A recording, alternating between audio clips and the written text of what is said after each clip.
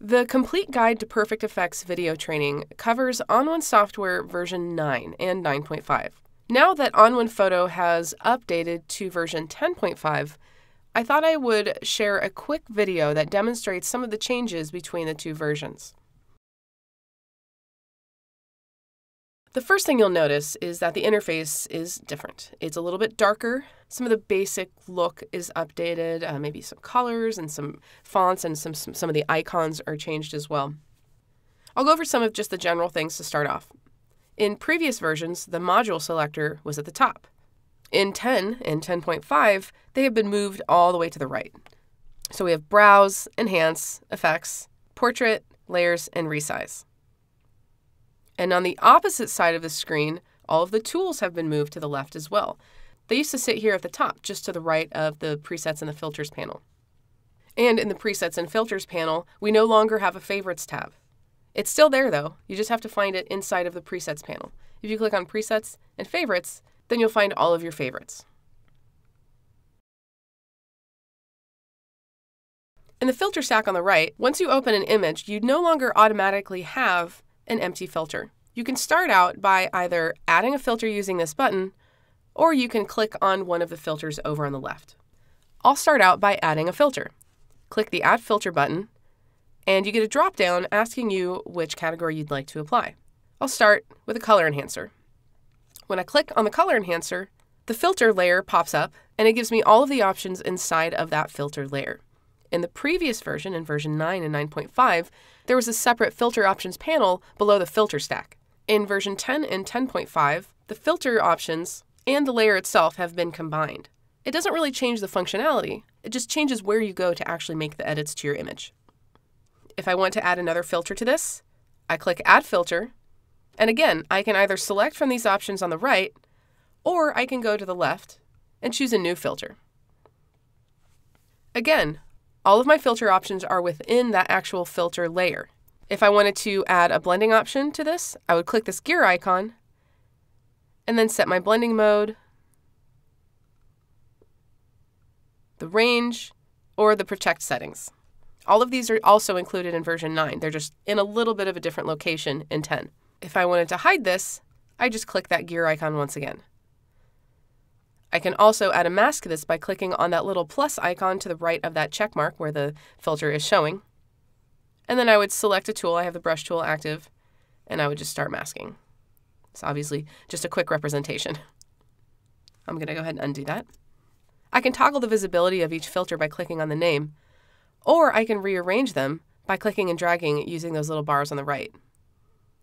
The checkbox to the left of the mask will reveal or hide each layer. I can also change the opacity of each layer within the layer itself. And at the top, I can set the master opacity of the entire filter stack. Both of those opacity settings are included in version 9, they're just in different locations in 10. One thing that is newly added to version 10 and 10.5 is a master mask. This will mask an entire filter stack, so all of your filters would be masked, as opposed to having to mask each layer individually. To add a mask, just click on the mask, select your masking tool of choice, and then just start brushing away. I'll go ahead and reset that. To hide that mask, just click on that mask icon once again. And next I'd like to show you the new features added to the Perfect Brush. Brush is active. I'm going to click on that Perfect Brush icon at the top, and I can access the additional brush features by clicking on the gear on the right. This is where the additional settings are located as well. But brand new to 10.5 is the color threshold in the transition settings. The color threshold will determine how much of the color below the cursor is actually going to be removed. A setting of zero means everything immediately below the cursor, that little tiny minus sign, is going to be removed, whereas a setting of 100 is going to expand those colors. I'll show you a quick example. I'll set this to zero. I'm going to increase my brush size using the right bracket key. And I'm going to paint over the tulip to bring back some of that color. So this is what it looks like when you use a setting of zero. I'm going to undo that. And just to go to the extreme, let's go up to 100. You can see that with a setting of 100, it's finding a lot more of the color below that cursor.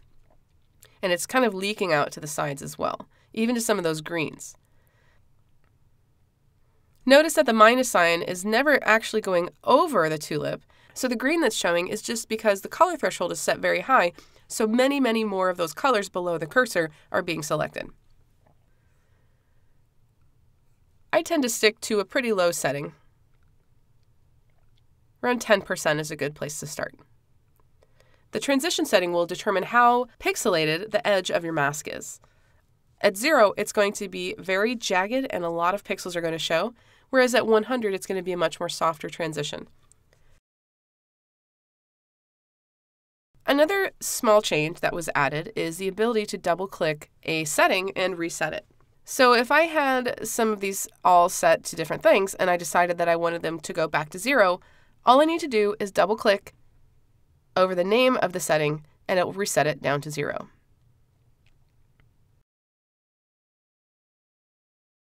Few changes have also been made to the presets section. I'll go ahead and click on the presets to show you what I'm talking about. You can change some of the admin features behind some of the presets. In the past, some of these were stuck and you couldn't really do anything about them. Now you can actually edit them yourself. If I click on one, I'm able to actually right click and do a lot of different things. I can edit the preset. I can actually change the name of it if I wanted to or change the category. I could even delete this if I wanted to. Or, if I made my own version of it, I could update it to reflect my new settings. And last but not least, you're still able to search for presets. The bar has just been moved to the bottom. Click and type to search for a preset. And you're also able to do this in the filters as well. They're independent of each other, so you'll have to make sure that you are inside of the proper panel in order to search for the filter or the preset that you're looking for. So those are the highlights of the changes in ON1 Effects 10.5.